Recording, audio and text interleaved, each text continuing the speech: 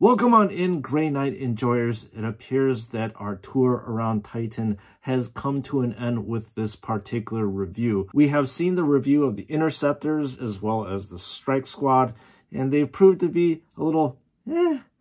So we will see if the Justicars of the respective squads prove to be any different from their grunt counterparts. So without further ado, let's jump into the review. All right, what do the Justicars look like? Let's get rid of the plastic for a better view. All right, first on the review docket is the Interceptor Justicar. And the first thing that we'll do is take a look at this guy's face. And looking at his face, well, I see that there is slight skinning issues with his eyes. As you can see on this particular eye, he's kind of staring off in this direction and this eye is staring straight right at you. At least with the mouth area, there is clear separation between the lips and the teeth, so it looks fairly realistic in that aspect. And taking a look at the pauldron on the right-hand side, we get to see that it says Victor on this banner here. And just like the rest of the other Grey Knight Interceptors, this Victor part is ingrained into the plastic of the action figure. And this pauldron is a great example of what Joy Toy is capable of. So we're going to flip around to the other side and you have the Grey Knights chapter symbol right here. And once again, this symbol does not deviate from what we have seen before. The left pauldron is adorned with a lot of words that are raised from the base plastic itself. Now we're going to take a look at this Justicar's Heraldic Shield. And you have this nice rev kind of zip pattern here. And then a Grey Knight sword right here. So taking a look at the middle section of the action figure, you can clearly see there is probably an exterminate right behind the tome as well as the sword right here. And this is a little bit different in that the Justicar has a little banner that is underneath. So taking a look at the Stormbolter right here is clearly wrist mounted and we cannot remove it unfortunately. There is a shield pattern right here and then the Storm Bolter follows the same pattern as we have seen before from other action figures in that the casing is black and the rest of it is silver. And it's nice to see that the magazine is sticking out from the side here. The magazine is also not removable. All right, the middle section of this action figure is very plainly adorned. You have a gold skull, and then you have the nice warm blue glow of the Grey Knights here uh, that is on top of the silver. And then as we flip around to the other side, there really isn't any other accessories that are attached to this belt. The only thing that is attached to the belt is clearly this tabard right here, which is a nice bone looking color. And within the recesses, you get to see a darker tan shade.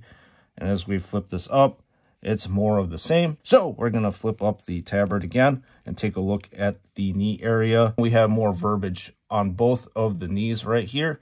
We have another Grey Knight sword, a couple purity seals, and that's pretty much it with regards to the legs of this action figure. And take a look at the Nemesis Demon Hammer. And the Demon Hammer is very similar to what we have seen before in the likes of Voldus. But regardless, let's just take a look at the head of the hammer. You have a golden eye, a skull, more Grey Knight's sword insignia here. A gold eye to press onto the flesh of anybody that this Justicar decides to smash. And then the same goes for the other side as we're moving on down. It's nice to see that this area has a blue glow, which means this is obviously powered.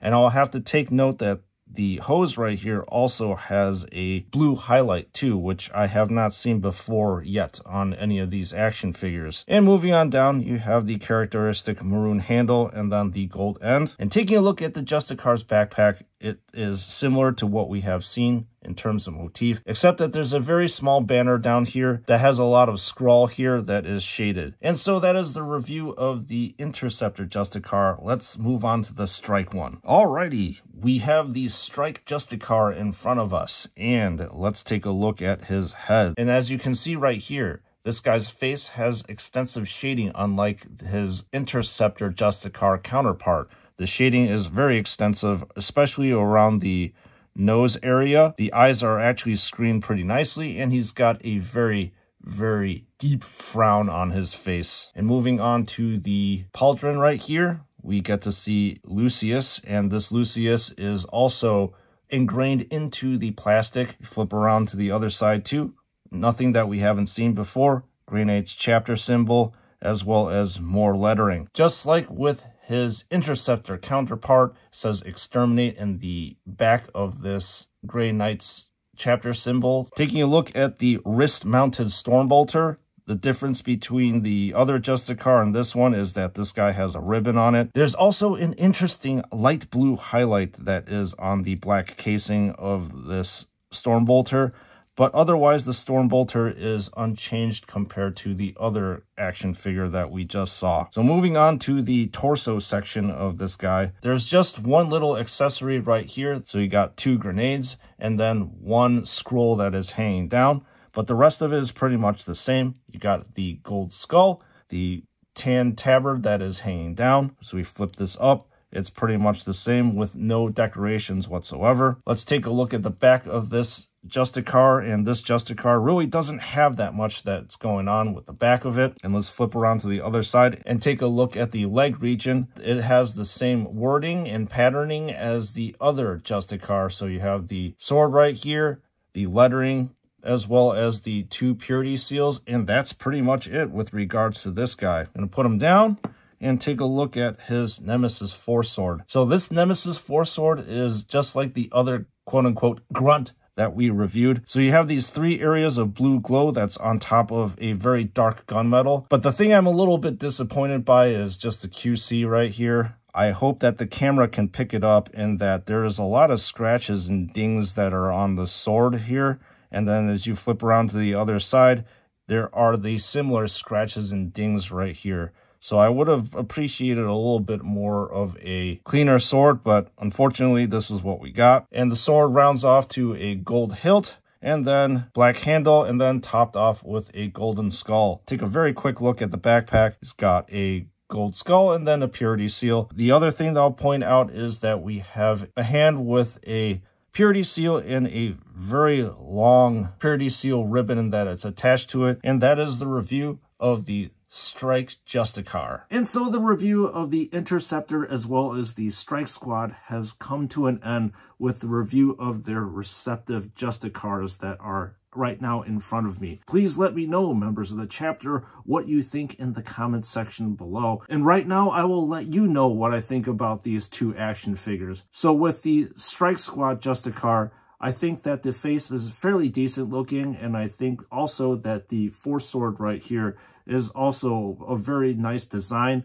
However, I really did not enjoy the banged up look that I have on it. Hopefully, if you decide to buy this particular action figure, you are not going to encounter the same issues that I encountered on this particular Force Sword. Aside from that, I really do like the pauldrons of each and every single one of these Justicars. And then moving on over to the Interceptor Justicar, the face uh, was a little bit iffy. Once again, if you picked up this action figure, I am hoping that this Justicar's face is not as messed up as mine, especially with the eyes area. I also really like the Nemesis Demon Hammer on this particular action figure. So once again, we come to the point in the video which I say whether these two action figures are worth it or not. And I'll be honest with you, I think with the whole entire Strike Squad as well as the Interceptor Squad, they seem to be a little bit lacking in my opinion. So would I recommend them? If you are strapped for cash, I think I would probably be pass on them is my honest opinion. So if you are interested in picking up these two Justicars, if not the whole entire different squads, just click in the link in the description below where you'll be directed to Flyima Toy where I get all my other action figures. And do not forget to use the code SNS to receive 12% off of your purchase. And with that being said, as usual, I'll see you all in the next one.